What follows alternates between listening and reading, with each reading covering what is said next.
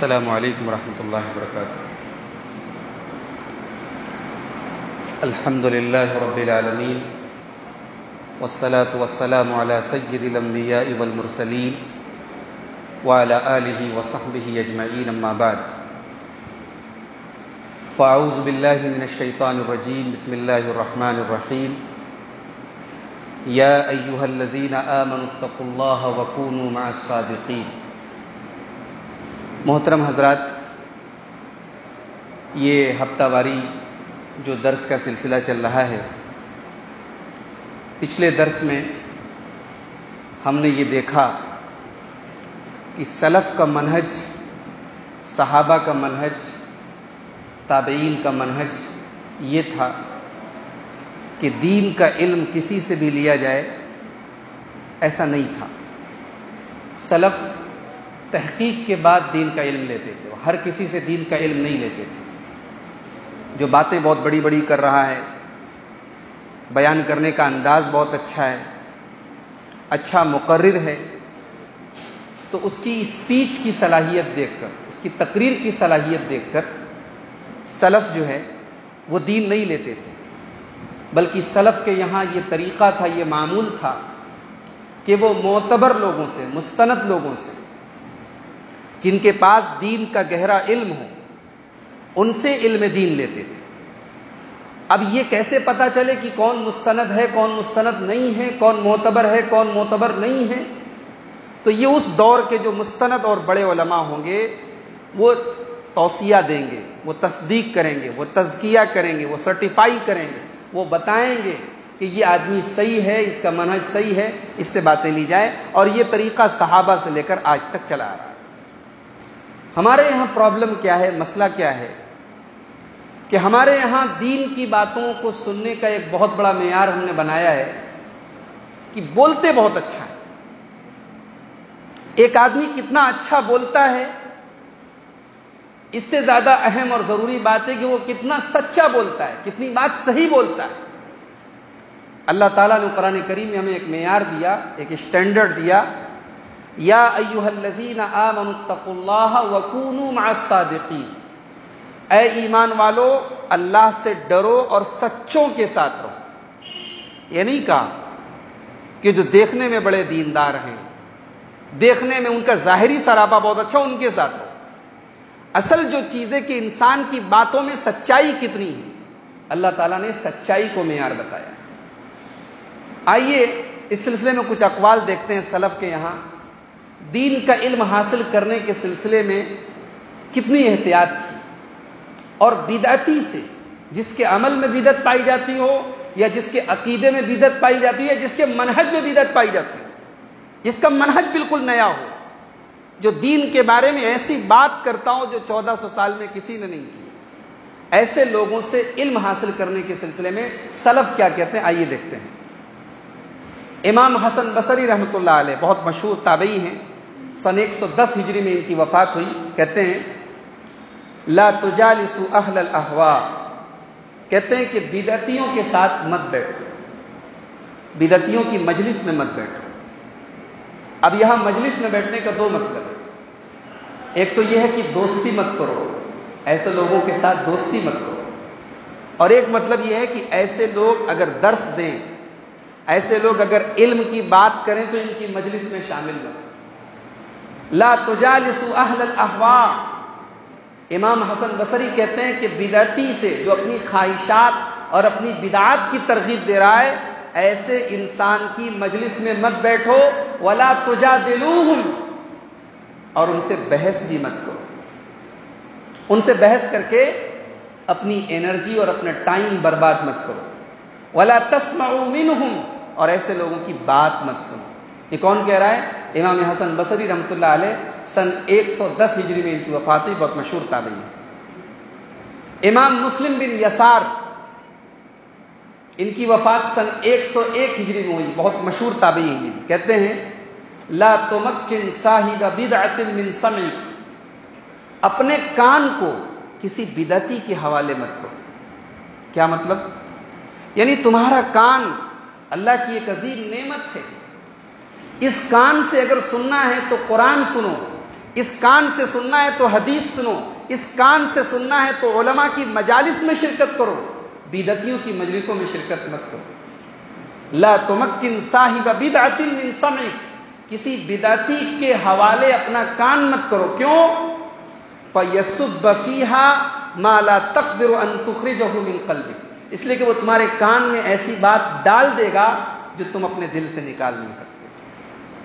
اکثر ایسا ہوتا ہے کہ آپ کسی غلط فکر اور کسی غلط عقیدے اور کسی غلط منہج کے آدمی کی بات سنیں گے، ضروری نہیں ہے کہ آپ اس کی بات مان لیں۔ لیکن یہ ضروری ہے، یہ ضرور اس بات کا خطرہ ہے کہ وہ آپ کے دل میں کوئی شک ڈال دے۔ مثال کے طور پر آپ کو کسی شیعہ عالم کی تقریر بہت اچھی لگتی آپ ان کا انداز بیان بڑا اچھا لگتا ہے۔ آپ کا یہ کہنا بھائی، میرا عقیدہ صحیح ہے، میں تو بس ایسے ہی تقریر کے طور پہ سننے بیٹھ گیا۔ اب آپ سنتے سنتے سنتے سنتے اس نے تقریر کے دوران بیان کیا کہ حضرت عمر فاروق رضی اللہ تعالیٰ گئے اور حضرت فاطمہ کے گھر کے دروازے کو توڑ دیا اور ان کے پیٹ پہ دروازہ مار دیا، ان کے پیٹ کا بچہ نوزب اللہ گر گیا اور اسی حادثے میں ان کا انتقال ہو گیا۔ اس طریقے کی بات اس نے بتائی۔ اب آپ کے دل میں حضرت عمر کے خلاف ایک بدگمانی آ گئی۔ حالانکہ آپ شیعہ نہیں ہیں، آپ اس کے عقیدے پر نہیں ہیں، اس کے منہج پر نہیں ہیں، لیکن سنتے سنتے کوئی ایک کنفیوژن کوئی ایک شک کی بات دین کے تعلق سے آپ کے دل میں آئی۔ یہ بہت پتے کی بات بتا رہے ہیں امام مسلم ملیہ صاحب۔ کہہ رہے ہیں، اپنا کان کسی بدتی کے حوالے مت کرو، ورنہ کان کے راستے وہ تمہارے دل میں اتر کر کے کوئی شک کی بات ڈال۔ ہم اپنے گھر کے دروازے پر، کوئی کتا ہے، کوئی جانور ہے، ہم دروازے کے اندر نہیں آنے دیتے، دروازے سے دھتکار دیتے۔ کیوں؟ دروازے کے اندر ہم انٹری دیں گے، وہ گھر کے اندر آئے گا، گندگی پھیلائے گا۔ ہم اس کو دروازے پر ہی روک دیتے ہیں۔ ہم کسی غلط فکر کی، کسی غلط عقیدے والے کی بات پر عمل کریں، بات مانے اس کا نمبر بعد میں تم سنے ہی کیوں؟ اللہ تعالیٰ نے اگر ہمیں ٹائم دیا ہے دین کی باتوں سنیں مستند علماء جو قرآن و حدیث کی بات کرتے ہیں، صحیح عقیدے کی بات کرتے ہیں، صحیح منہج کی بات کرتے ہیں سلفی الفکر ہیں، عقیدہ ان کا صحیح ہے، منہج ان کا صحیح ان کی باتیں جو نہ سنیں۔ بعض اوقات ایسا ہوتا ہے کہ آدمی کہتا ہے کہ نہیں، میں اس لیے سن رہا ہوں تاکہ ان کی اصلاح کروں۔ منکرین حدیث کی ویب سائٹ کھول کے بیٹھ گیا۔ دیکھیں منکرین حدیث کیا کیا اعتراض کرتے ہیں حدیث کے اوپر۔ تاکہ میں منکرین حدیث کا جواب دے سکوں۔ اب جناب، یہ منکرین حدیث کی سائٹ کھول کے بیٹھ گیا پتا لگا یہ خود منکر حدیث ہو گیا یہ شیعہ کی ویب سائٹ کھول کر بیٹھ گیا، خود شیعہ ہو گیا۔ یہ قادیانیوں کی ویب سائٹ پر ریسرچ کرنے لگا، آپ کو اللہ تعالیٰ نے جو بوجھ آپ کے اوپر نہیں ڈالا ہے، آپ کیوں اس بوجھ کے اس بوجھ کو اپنے اوپر ڈال رہے ہیں؟ آپ اگر علم کے اعتبار سے اتنے پختہ نہیں ہیں تو آپ کوئی ضروری نہیں ہے کہ آپ تمام منکرین حدیث کی اصلاح کریں، آپ شیعوں کی اصلاح کریں، آپ قادیانیوں کی اصلاح کریں۔ اور اگر اصلاح بھی کریں آپ، تو کوئی ضروری ہے کہ آپ ان کی ویب سائٹ اور ان کے علماء کی تقریریں سن کر کے کریں۔ آپ جو مستند علماء ہیں، اپنے علماء ہیں، ان سے مشورہ لیں کہ ہمیں اگر ان سے بات کرنا ہے، ان کے جو ڈاؤٹ ہیں، ان کو دور کرنا ہے، تو کیسے دور کریں؟ آپ اگر بدتیوں کی بدعتی علماء کی یا بدعتی لوگوں کی باتیں سنیں گے تو دل میں کہیں نہ کہیں کھٹک پیدا ہوگی۔ یہ بہت پتے کی بات بتائی امام مسلم بن یسار رحمۃ اللہ علیہ امام فضیل ابن ایاز، ان کی وفات سن ایک سو ستاسی ہجری میں ہوئی، بہت مشہور۔ یہ عابد ہیں، محدث ہیں فقی ہیں، امام ہیں، کہتے ہیں، من جالس صاحب بدعت لم يعطل حکمہ جو کسی بدعتی کی مجلس میں بیٹھا وہ حکمت سے محروم ہو گیا حکمت کس کو کہتے ہیں؟ حکمت سے مراد سنت، حکمت سے مراد حدیث۔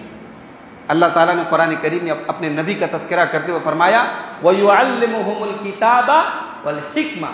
میرا نبی لوگوں کو قرآن سکھاتا ہے اور حکمت سکھاتا ہے۔ حکمت میس حدیث۔ حکمت میس سنت۔ تو حضرت فضیل ابن ایاز رحمۃ اللہ علیہ کہتے ہیں کہ جو بداتیوں کی مجالس میں بیٹھے گا، جو ان کی باتیں سنے گا، جو ان کی تقریریں سنے گا، جو ان کی کتابیں پڑھے گا، وہ حکمت سے محروم ہو جائے حدیث سے محروم ہو جائے اتنا وقت اگر آپ حدیث کے مطالعے پر لگائیں، اتنا وقت اگر آپ کسی اہل حدیث، کسی سلفی عالم کی تقریر سننے میں لگائیں، آپ کو فائدہ ہو آپ کے علم میں اضافہ ہو، آپ کو برکت ملے۔ جو وقت آپ نے ریسرچ کے نام پہ، تحقیق کے نام پر ان کی ان کی باتوں کو سننے میں لگایا، اس سے نقصان کیا ہوگا؟ لم یعطل حکمہ آپ حکمت سے محروم ہو جائیں۔ امام سفیان سوری رحمۃ اللہ علیہ، ان کی وفات سن ایک سو اکسٹھ ہجری میں ہوئی، بہت مشہور، یہ بھی محدث ہیں فقی ہیں۔ یہ ایک مرتبہ بسرا ہے۔ بسرا ایک جگہ کا نام ہے بسرا ہے۔ تو وہاں انہوں نے سنا کہ وہاں کوئی مولوی صاحب ہیں، عالم صاحب ہیں، ان کا نام ہے ربیہ بن صبی بہت مشہور اس زمانے کے عالم ہیں۔ اور لوگ ان کو بہت مانتے ہیں، لوگ ان کی بڑی عزت کرتے ہیں۔ ربیہ بن صبی تو انہوں نے بہت پوچھا، مذہب ان کا مسلک کیا ہے؟ ان کا منہج کیا دیکھیے سلب کا طریقہ دیکھیے۔ انسان کی شہرت سے دھوکہ نہیں کھانا چاہیے۔ انسان کے فینس کتنے ہیں؟ انسان کے انٹرنیٹ پر فالوورز کتنے یہ اس کے منہج کے صحیح ہونے کی دلیل نہیں ہے۔ اس کو اتنے لوگ سن رہے ہیں، اس کو اتنے لوگ دیکھ رہے ہیں، یہ اس کے حق ہونے کی دلیل نہیں ہے۔ اس کا منہج، یہ اس کے حق ہونے کی دلیل۔ اس کا منہج کیا ہے؟ اس کا عقیدہ کیا ہے؟ اس کی فکر کیا ہے؟ امام سفیان سوری نے پہلا سوال کیا۔ اس کا مذہب کیا ہے؟ تو جواب دیا گیا سننا ان کا مذہب اہل سنت کا ہے، جو محدثین کا ہے، جو سلف صالحین کا ہے، سنت پر چل یعنی اس زمانے میں امام سفیان سوری کے زمانے میں بھی یعنی ایک گروپ تھا جو اہل سنت کے نام سے جانا جاتا، جو اہل الحدیث کے نام سے جانا جاتا۔ تو کہا کہ ان کا منحج جو ہے، مسلک جو ہے، اہل سنت کا ہے۔ تو امام سفیان سوری نے پوچھا، من بطانت ان کا اٹھنا بیٹھنا کن لوگوں کے ساتھ؟ ان کے سنگ ساتھ کے لوگ کون ہیں؟ ان کے پارٹی کے لوگ کون ہیں؟ ان کے ساتھ اٹھنے، بیٹھنے، چلنے والے کون لوگ ہیں؟ تو جواب دیا گیا اہل القدر۔ اس زمانے میں فرقہ تھا قدریہ فرقہ۔ تقدیر کا انکار کرتا تھا، تقدیر کو نہیں مانتا تھا۔ کہا کہ ان کا اٹھنا بیٹھنا قدریوں کے ساتھ۔ تو امام سفیان سوری نے بے ساختہ کا ہوا قدری، وہ قدری ہے، وہ بھی انہی کے منہج پر، انہی کے مسئلہ پر۔ یعنی امام سفیان سوری یہ بتانا چاہتے ہیں کہ ایک انسان بظاہر ہمیں لگ رہا ہے کہ اس کا منہج صحیح ہے، لیکن اگر اس کا اٹھنا، بیٹھنا، چلنا، پھرنا اور جن لوگوں سے وہ پڑھ رہا ہے یا جن لوگوں کو کے ساتھ اس کا زیادہ ٹائم گزر رہا ان کا منہج گڑبڑ ہے، ان کا عقیدہ گڑبڑ ہے، تو اس کا مطلب کہ اس انسان کا بھی عقیدہ گڑبڑ ہے۔ یہ امام سفیان سوری رحمۃ اللہ علیہ نے فوراً کہا، ہوا قدری، وہ بھی قدری امام مفضل بن محلحل ان کی وفات سن ون سکسٹی سیون، ایک سو سڑسٹھ ہجری میں ہوئی، بہت مشہور محدث ہیں فقی ہے کہتے ہیں لوکان صاحب البدا ایزا جلست الیہ حضر و فرر بڑے پتے کی بات کرتے بہت غور سے سنیے گا۔ کہتے ہیں، اگر کوئی بدتی ہے، آپ اس کے پاس گئے، اس کی باتیں سن رہے ہیں، اگر وہ ڈائریکٹ اپنی بدعت بیان کرے گا، تو آپ بھاگ جائیں گے۔ آپ اس سے بچیں گے۔ ارے، تو غلط بات بول رہا ہے۔ میرے عقیدے کے خلاف بات بول رہا ہے۔ قرآن حدیث کے خلاف بات بول رہا ہے۔ اگر وہ ڈائریکٹ اپنے عقیدے پر آ جائے گا، اپنی فکر پر آ جائے گا، آپ بھاگ جائیں گے۔ کبھی احادیث سننا کہتے ہیں، پہلے وہ سنت کی حدیثیں بیان کرے گا۔ وہ صحیح حدیثیں بیان کرے گا۔ بہت سارے لوگ ہیں۔ آدمی ان کی تقریر سن کے آتا کہتا ہے انہوں نے وہ حدیث بیان کی آج تک میں نے کسی عالم سے نہیں سنا۔ اور ہو سکتا ہے کہ وہ بات اس نے جو ایک حدیث آپ کو سنائی، جو آج تک آپ نے نہیں سنی، وہ حدیث صحیح ہو۔ مگر دس باتوں میں وہ ایک نئی بات آپ کو صحیح بتا کر کے نو غلط باتیں آپ کو وہ مٹھائی کے اندر زہر چھپا کر کے آپ کو انجیکشن دے گا۔ یہ زیادہ خطرناک ہے۔ امام مفضل بن محلحل کہتے ہیں، بدعتی ڈائریکٹ اپنی بدت نہیں بتائے گا۔ ڈائریکٹ بتائے گا، آپ چھوڑ کے بھاگ جائیں گے۔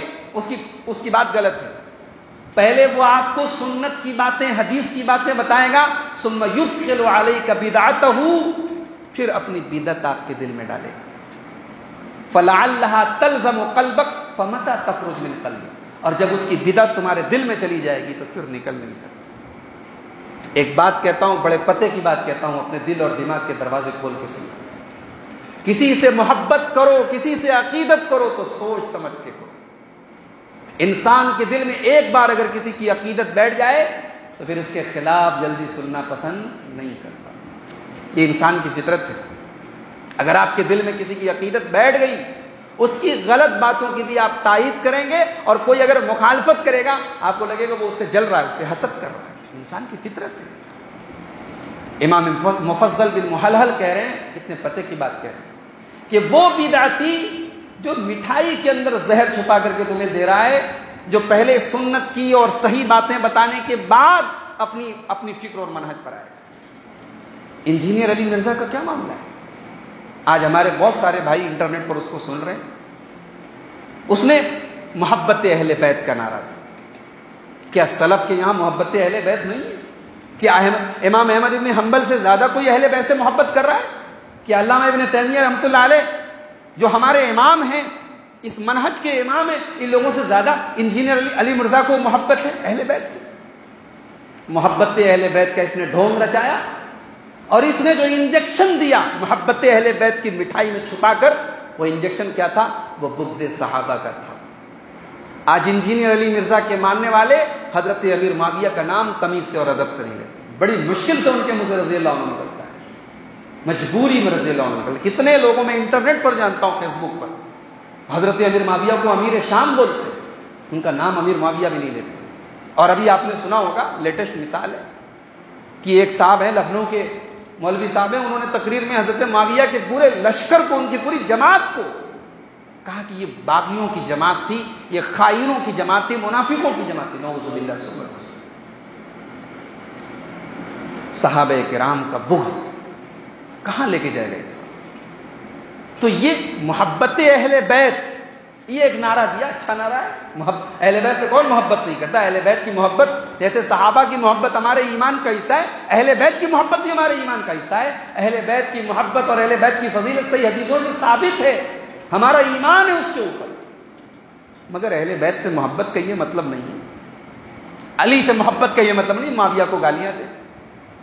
سیدہ فاطمت الزہرا سے محبت کا یہ مطلب نہیں کہ ہم حضرت عمر فاروق سے دشمنی کریں، حضرت حسن اور حسین سے محبت کا یہ مطلب نہیں کہ ہم حضرت عثمان غنی کو برا بلا کہ نہیں۔ صحابہ کی محبت اپنی جگہ ہے، اہل بیت کی محبت اپنی جگہ ہے۔ تو انسان جو بدتی ہوتا ہے، امام مفضل بن محلل اس کی ایک پہچان بتاتے ہیں کہ وہ پہلے اچھی باتیں کرتا ہے۔ یا یہ کہہ لیجیے کہ دس باتوں میں ایسا بھی ہو سکتا ہے کہ نو باتیں وہ صحیح کریں۔ لیکن ایک بات اتنی خطرناک اس نو بات کے ساتھ ملا دے گا جو آپ کے پورے عقیدے کو ڈسٹرائے کر دے گی، پورے فکر کو، پورے منہج کو تباہ کر دے گی۔ اس لیے کہتے ہیں ایسے لوگوں کی بات ہی مت سنو۔ دروازے سے ہی اس جانور گروہ کو گھر میں انٹری ہی نہ کرے وہ، کہ گھر کا ماحول خراب کرے۔ ایک آدمی آپ کو نقلی نوٹ دیتا ہے تو ظاہر سی بات ہے کہ آپ نہیں لیں۔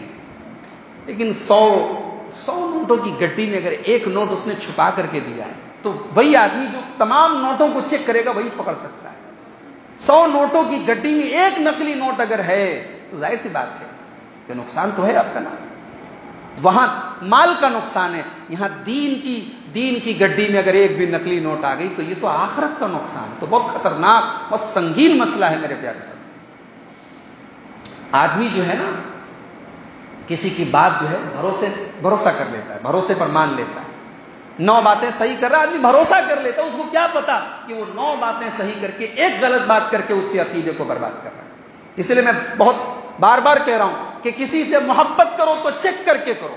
محبت ایسے مت کرو میرا کسی کی عقیدت دل میں بٹھاؤ، کسی کی بھی عقیدت دل میں بٹھاؤ تو چیک کر کے بٹھاؤ۔ اس لیے کہ ایک بار عقیدت بیٹھ گئی، آپ اس کے خلاف نہیں سننا چاہیں گے، یہ انسان کی فکر آئیے اللہ کے نبی کے حدیث آپ کو سناتا ہوں، بڑی پیاری حدیث ہے۔ امام مسلم رحمۃ اللہ علیہ اپنی صحیح مسلم میں حدیث لائے ہیں۔ اللہ کے پیارے نبی صلی اللہ علیہ وسلم فرماتے ہیں یقون فی آخری زمانی دجالون کذابون۔ آخری زمانے میں کچھ دجال پیدا ہوں۔ ایک تو دجال وہ ہے، جس کو ہم لوگ کانا دجال بولتے مسیح دجال۔ اس کا نام بھی دجال کیوں پڑا؟ دجل کے معنی ہوتا ہے دھوکہ دینا، وہ دھوکہ دے گا۔ دھوکہ دے گا۔ نقلی جنت بنائے گا، نقلی جہنم بنائے گا۔ اللہ کے نبی فرماتے اس کی جنت کے چکر میں جو جائے گا، وہ اللہ تعالیٰ کے جہنم میں جائے گا۔ اور اس کی جہنم میں جو چلا گیا، وہ اللہ تعالیٰ کے جنت میں جائے گا۔ تو دجال کو اتنا پاور ملے گا۔ کتنے سارے لوگ دجال کے فتنے میں گرفتار ہو جائیں گے۔ اس لیے ہم لوگ ہر نماز میں دعا کرتے ہیں۔ اور اس امت کا سب سے بڑا فتنہ ہے دجال۔ ہم لوگ ہر نماز میں دعا کرتے ہیں اللہ اوزبی کا من فتنت المسیح دجال تو دجال کا نام دجال اسی لیے پڑھو دھوکے باز ہے۔ دجل کے معنی دھوکہ دینا۔ دجال بہت بڑا دھوکے باز بہت بڑا چیٹر۔ تو اللہ کے پیارے نبی فرماتے کہ آخری زمانے میں یہ جو بڑا والا دجال آئے گا، اس کے پہلے کئی دجال پیدا ہوں گے۔ کئی دھوکے باز پیدا ہوں گے۔ کزابون جھوٹے لوگ پیدا ہوں گے۔ کیا کریں گے یہ لوگ؟ یاتونکم من الاحادیث ما لم تسمعوا انتم ولا اباؤکم یہ ایسی حدیثیں بیان کریں گے جو نہ تم نے سنی نہ تمہارے باپ دادا نے یہ محدثین کے زمانے میں تو کوئی نئی حدیث اگر کوئی بیان کرتا تھا جو اس زمانے کے علماء سے لوگوں نے سنی تو فوراً ریجیکٹ کر دیتے تھے کہ یہ حدیث ہم نے سنی نہیں۔ آج الحمدللہ تحقیق کا زمانہ ہے، کتابیں لکھی جا چکی ہیں۔ آج تو آپ کو حدیث نہیں چیک کرنا، آپ آج آپ کو حوالہ چیک کرنا ہے۔ حوالہ جو دے رہا ہے کہ صحیح دے رہا ہے کہ نہیں دے رہا ہے۔ پھر وہ کتاب، اس کتاب میں وہ حدیث صحیح ہے کہ نہیں، اصول کے اعتبار سے یہ دیکھنا ہے۔ تو یہاں حدیث کا مطلب صرف حدیث نہیں ہے۔ حدیث کے معنی باتیں بھی ہیں۔ اللہ کے نبی فرما رہے ہیں، ایسی باتیں بیان کرے گا جو نہ تم نے سنی، نہ تمہارے باپ دادا نے سنی۔ ایک آدمی کہتا ہے، یہ کام کرو، یہ سنت ہے۔ چودہ سو سال سے لے کر آج تک اس عمل کو کسی نے سنت نہیں کہا۔ اس کا مطلب یہ ہوا، یہ عمل خود ایک بدت ہے۔ یہ عمل خود ایک بدت ہے۔ اگر یہ سنت ہوتا اور اللہ کے نبی کی حدیثوں سے ثابت ہوتا تو سلف صالحین، صحابہ، تابعین ہم سے زیادہ، ہم سے زیادہ سنت پر چلنے کے حریث تھے، ہم سے زیادہ سنت کے تلاش میں رہتے تھے۔ انہوں نے نہیں عمل کیا۔ یہ آج کا چودہ سو سال کے بعد ایک آدمی کھڑا ہو کہتے یہ سنت ہے۔ تو ایک آدمی کی بات غلط ہونے کے لیے یہ بھی کافی ہے کہ وہ ایک ایسی بات کرے جس کی کوئی اصل نہیں ہے، نہ کتاب و سنت میں، نہ صحابہ کیا نہ سلف کیا ہے تو اللہ کے نبی کہہ رہے ہیں، ایسی باتیں بیان کرے گا جو نہ تم نے سنی ہوں گی، نہ تمہارے باپ دادا نے سنی ہوگی فعیا کم فعیا اللہ کے نبی فرماتے ہیں کہ ایسے لوگوں سے بچو۔ لا یزلونکم ولا یفتنونکم کہیں ایسا نہ ہو کہ وہ تمہیں گمراہ کر دیں اور کہیں ایسا نہ ہو کہ وہ تمہیں اپنے فتنے میں ڈال دیں۔ کبھی کبھی ایسا ہوتا ہے، آدمی کسی کی بات اس لیے سن رہا ہے کہ اس کو صحیح کرے، اس کی اصلاح کرے۔ ایک آدمی کسی کا علاج کرنے کے لیے بیٹھا ہے، لیکن خود اس کی بیماری میں مبتلا ہو گیا۔ سوائن فلو کا علاج کرنے، ڈاکٹر گیا خود اس کو سوائن فلو ہو گیا۔ کیوں؟ وہ پہلے سے اینٹی بیکٹیریا لے کے نہیں گیا اینٹی بایوٹک لے کے نہیں گیا وہ۔ اگر آپ مضبوط نہیں ہیں علمی اعتبار سے، اگر آپ کے پاس مضبوط علم نہیں ہے اور آپ کسی غلط منہج والے کا جواب دینے اور اس پہ بحث کرنے بیٹھے، تو ممکن ہے کہ آپ خود اس کے فکر اور عقیدے میں گرفتار ہو جائیں۔ آپ علاج کرنے بیٹھے، آپ خود بیمار ہو جائیں انسان اس بات پر ناز نہ کرے کہ میں بہت پکا ہوں، میرا ایمان بہت پکا ہے، میں اپنے عقیدے کا بہت پکا ہوں، میں اس کی اصلاح کر دوں گا۔ اس کو، اس کی اصلاح کرنے کے چکر میں ہم کبھی کبھی اپنے کو بگاڑ دیں۔ انسان کو اپنی حد پہچاننی چاہیے۔ اگر آپ کے پاس دین کا اتنا مضبوط علم نہیں ہے، آپ اپنے دین پر عمل کیجیے اپنے عقیدے کی فکر کیجیے سارے زمانے کا ٹھیکہ لینے کی آپ کو کوئی ضرورت نہیں۔ سب کی اصلاح کریں گے ہم۔ یہ منکری نے حدیث ہو گیا، چلو بھائی ہم اس سے بیٹھ کر کے بحث کریں گے۔ کئی بار یہ مثال دیکھی گئی کہ ایک منکر حدیث کے ساتھ ایک انسان بیٹھا جس کا خود کا عقیدہ مضبوط نہیں تھا، خود کا منہج مضبوط نہیں تھا، منکر حدیث کے ساتھ بیٹھا، خود منکر حدیث۔ شیعہ کے ساتھ بحث کرنے بیٹھا، خود شیعہ ہو گیا۔ کیوں؟ شیعہ کے اعتراضات کے اس کے بعد جواب نہیں تھا۔ بہت سارے کام انسان اپنی حد میں رہ کے کرنا چاہیے، اپنی حد سے باہر اس کو نہیں کرنا چاہیے۔ اب یہاں پر ایک بہت ضروری چیز بیان کرنے جا رہا ہوں۔ ایک ڈاؤٹ ہے، ایک شک ہے کنفیوژن ہے کہ اگر کوئی انسان بات صحیح کر رہا ہے، اس کا عقیدہ گڑبڑ ہے، منہج گڑبڑ ہے، لیکن بات صحیح کر رہا ہے، تو اس کو کیوں نہ مانے غلط بات، صحیح بات اگر شیطان بھی بتاتا ہے تو مان لینا چاہیے۔ مان لینا چاہیے نہیں مان لینا حدیث ہے نا بخاری شریف بڑی مشہور حدیث ہے، حضرت ابو حریرا رضی اللہ تعالیٰ کا واقعہ ہے۔ اللہ کے نبی صلی اللہ علیہ وسلم نے ان کو سبقہ فطر کا جو اناج آتا تھا، اس اناج کی رکھوالی کرنے کی ذمہ داری دی تھی۔ شیطان آیا رات میں چوری کرنے کے لیے۔ شیطان چوری بھی کرتا ہے، معلوم ہوا شیطان چوری بھی کرتا ہے۔ چوری کرنے کے لیے آیا۔ حضرت ابو حریرہ نے پکڑ لیا۔ کہا، میں غریب آدمی ہوں، بال بچے مجبور ہیں، چھوڑ دیجیے مجھے۔ حضرت ابو حریرہ نے چھوڑ دیا۔ صبح کو اللہ کے نبی صلی اللہ علیہ وسلم کے پاس پہنچے تو اللہ کے نبی کو پوری بات بتائی۔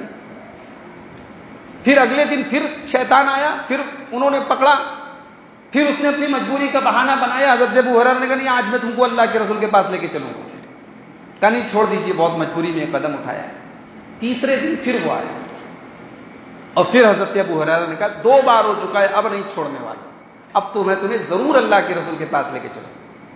تو شیطان نے کہا کہ، اگر میں آپ کو ایک اچھی بات بتاؤں، تو آپ مجھے چھوڑ دیں گے؟ کہا، بتاؤ کیا بات ہے؟ کہا بات یہ ہے کہ آپ جب رات کو سونے جائیں بستر پہ، تو آیتل کرسی پڑھ کے سویا کریں۔ رات بھر اللہ تعالیٰ کی طرف سے ایک حفاظت کرنے والا آپ کی حفاظت کرے گا اور شیطان آپ کے قریب نہیں آئے گا۔ حضرت ابو حرارا نے اس کو چھوڑ دیا۔ صبح کو اللہ کے رسول کے پاس پہنچے۔ اللہ کے رسول نے پوچھا، ابو حرارا وہ رات والے آدمی کا کیا ہوا؟ کہا کہ اللہ کے نبی، آج تو اس نے ایسی ایسی بات بتائی۔ اللہ کے نبی نے فرمایا صدق کا ہوا کزوب اے ابو حریرا اس نے سچی بات کہی، لیکن ہے وہ ایک نمبر کا جھوٹا زا کا شیطان، وہ شیطان۔ اب اس حدیث کی بنیاد پر اگر کوئی یہ کہے کہ جب شیطان کی حق بات مانی جا سکتی ہے، تو ایک انسان کی، ٹھیک ہے، اس کا عقیدہ غلط ہے، اس کا منہج غلط ہے، اس کی فکر غلط ہے، اس کی بات کیوں نہیں مانی جا سکتی؟ یہ بڑا مضبوط ستر پرسینٹ لوگ آج یہ دلیل دیتے ہیں کہ شیطان کے لیے غلط بات ملے تو مان لینا چاہیے۔ لیکن کوئی اس بات پر غور نہیں کرتا کہ حضرت ابو حریرا رضی اللہ تعالیٰ نے شیطان کی بات سن کے جا کے کیا ایسا کیا کہ جا کے فوراً عمل کرنے لگے؟ نہیں۔ وہ اللہ کے رسول کے پاس آئے اور جب اللہ کے نبی نے تصدیق کر دی کہ ہاں اس نے صحیح بات کہی ہے، تب وہ بات صحیح ہوئی۔ جب تک نبی نے تصدیق نہیں کی تھی تب تک حضرت ابو حرارا کی نظر میں وہ بات صحیح نہیں تھی۔ دوسری بات، حضرت ابو حرارا رضی اللہ تعالیٰ عنہ نے شیطان کی وہ بات سنی۔ شیطان نے ایک سچی بات بتائی، حق بات بتائی۔ تو حضرت ابو حرارا نے کیا کہا کہ ٹھیک ہے، میں ایک صحیح بات بتا رہا ہوں۔ ایک کام کرو، کل سے عشاء کے بعد تم درس میں تمہارا درس سنوں گا۔ ایسا نہیں کیوں ایک غلط انسان کی کسی بات کا صحیح ہونا ایک الگ چیز ہے۔ اور اس انسان کو دین کے معاملے میں اپنا ٹیچر بنا لینا ایک الگ بات ہے۔ دونوں میں فرق ہے۔ ایک انسان کی اگر صحیح بات، چاہے اس کی پرسنالٹی غلط ہو، لیکن بات اگر صحیح ہو، تو انصاف کا تقاضا تو یہ کہ صحیح بات کو صحیح کہا جائے۔ لیکن اس بات کے صحیح ہو جانے کی وجہ سے وہ غلط آدمی صحیح نہیں ہو جائے گا۔ اس کو ٹیچر بنا لینا، اس کو دین کا رہبر بنا لینا یہ جائز نہیں ہوگا۔ ارے غلط بات دیوار پہ لکھی ہو اب دیوار پہ لکھا ہو کہ بھائی سچ بولو۔ دیوار پہ لکھا ہے سچ بولو۔ تو ہم مانیں گے کہ نہیں مانیں گے؟ کیونکہ جو بات لکھی وہ صحیح ہے۔ اب ہم کہہ نہیں صاحب، پتہ نہیں کس نے لکھا ہے، اس کا عقیدہ کیسا، اس کا منہج کیسا ہے۔ ایسا نہیں ہے۔ جو بات لکھی ہے وہ تو صحیح ہے۔ تو ایک ہوتا ہے کہ ہم کسی کسی کی شخصیت کی وجہ سے، کسی کی پرسنالٹی کی وجہ سے اس کی صحیح بات کو ریجیکٹ نہیں کریں گے، اس کو ڈیلیٹ نہیں کریں گے۔ لیکن اس کا یہ مطلب بھی نہیں ہے کہ ہم اس آدمی کو اپنا ٹیچر مان لیں گے اور اس سے دین کا علم حاصل کرنے لیں دونوں میں فرق ہے۔ اور تیسری بات اس حدیث سے یہ معلوم ہوئی کہ اللہ کے نبی نے کیا فرمایا؟ صدق کا وہ ہوا کزو اے ابو ہریرا اس نے بات تو صحیح کہی ہے لیکن ہے وہ ایک نمبر کا جھوٹا۔ اس سے ہمیں اور آپ کو ایک نصیحت یہ ملی کہ اگر کسی کے اندر کوئی اچھائی ہے اور ہم اچھائی بیان کر رہے ہیں تو ہم ساتھ میں اس انسان کی جو کمی ہے، اس کے عقیدے اور فکر کی جو گمراہی ہے، وہ بھی بیان کرتے فلاں جماعت کے لوگ بڑے اچھے ہوتے ہیں۔ ان کی تبلیغ سے کتنے لوگ بے نمازی سے نمازی ہو گئے، کتنے لوگوں نے داڑھی رکھ لی، کتنے لوگ سدھر گئے۔ یہ بات ہم بیان کریں، اچھی بات ہے۔ لیکن ساتھ میں ہم یہ بھی بیان کریں کہ اتنا سب کرنے کے بعد بھی ان کا منہج صحیح نہیں ہے، ان کا عقیدہ گڑبڑ ہے، یہ بیان کیا جائے۔ یہ یہ اللہ کے نبی کی اس حدیث سے میں سبق ملا۔ کبھی کبھی ایسا ہوتا ہے کہ ہم نے کسی کے بارے میں کہا کہ فلاں آدمی بہت اچھا ہے، اس کا، اس کے اندر یہ خوبیاں ہیں۔ تو انسان دھوکہ کھا جاتا ہے۔ یہ اللہ کے نبی نے ہمیں ایک منہج دیا کہ اگر کسی کا عقیدہ گڑبڑ ہے، کسی کی فکر گڑبڑ ہے، تو اس کی خوبیاں بیان کرنے کے ٹائم اس کا عقیدہ اور فکر بھی بیان کر دیا جائے تاکہ لوگ محتاط رہیں، لوگ ایسے آدمی سے الرٹ رہیں۔ کہیں ایسا نہ ہو کہ اس کی خوبیوں کی وجہ سے انسان اسے دھوکہ کھا جائے آج انٹرنیٹ کا دور ہے میرے پیارے بھائی۔ آج پرانے زمانے کی طرح اب مجلسوں میں لوگ نہیں بیٹھتے، موبائل پر لوگ یوٹیوب پر سرچ کر لیتے اب اکثر ایسا ہوتا ہے کہ انسان کوئی مسئلہ ڈھونڈنے بیٹھا، اب بیوی کے پاس جانا، بیوی کے پاس جانے کی دعا۔ اب چاہتا تو کسی عالم کو بھی فون کر کے پوچھ سکتا تھا، لیکن اب انٹرنیٹ موجود ہے، یوٹیوب موجود ہے کھٹا کھٹ ڈالا۔ اب صاحب کسی کی تقریر ہے اس پر، اس نے دعا بتائی ہے بیوی سے مل رہی تھی اب انسان کے موقع پر وہ آدمی کام آ گیا۔ اس کے کام آ گیا۔ اب اس نے کیا کیا کہ اس کی تمام باتوں کو ماننے لگا۔ اس دھیرے دھیرے اس کی محبت دل میں بیٹھ گئی۔ یہیں سے گڑبڑ معاملہ شروع ہوتا ہے انسان کے موقع پر جو کام آ گیا، انسان سمجھتا ہے کہ اس کی تمام، اس کی تمام خطائیں معاف ہیں، اس کے تمام گناہ معاف ہیں، اس کی تمام باتیں صحیح ہیں۔ اور کبھی کبھی ایسا بھی ہوتا ہے کہ ہم کسی کی نماز سے دھوکہ کھا جاتے ہیں کہ صاحب، ارے، وہ سینے پر ہاتھ باندھ رہا ہے رفا دین کر رہا ہے۔ انسان کی نماز سے اس کے عقیدے اور منہج کا آپ نے پتہ لگا لیا؟ اسی ہندوستان کے اندر، کیرلا کے اندر آپ چلے جائیں، کیرلا کے اندر۔ شافعی مسلک کے لوگ ہیں، سینے پر ہاتھ باندھ رہے ہیں رفا دین کر رہے ہیں، لیکن عقیدے میں کیا ہے بریلوی قبر پہ جا رہے ہیں، مزاروں پہ سجے جا کے کر رہے ہیں۔ اب آپ وہاں جا کے کہیں رہے تو اپنا آدمی ہے، اپنا نہیں ہے۔ گڑبڑ آدمی ہے وہ، گمراہ ہے وہ۔ تو سینے پر ہاتھ باندھ لینا رفا دین کر لینا، یہ اس بات کی دلیل نہیں ہے کہ سامنے والے کا عقیدہ سے انٹرنیٹ پر آج بہت سارے لوگ ہیں۔